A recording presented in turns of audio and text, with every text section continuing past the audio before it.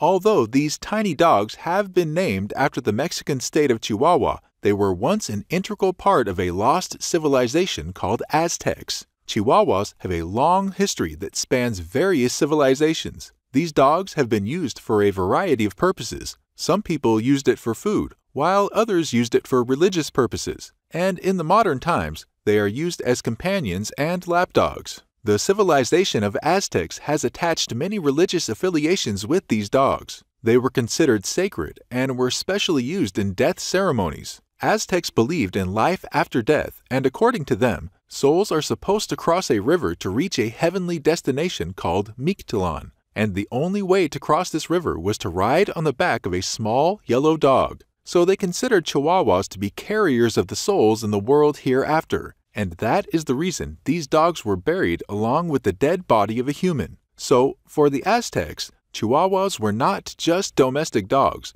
they hold a spiritual and religious value.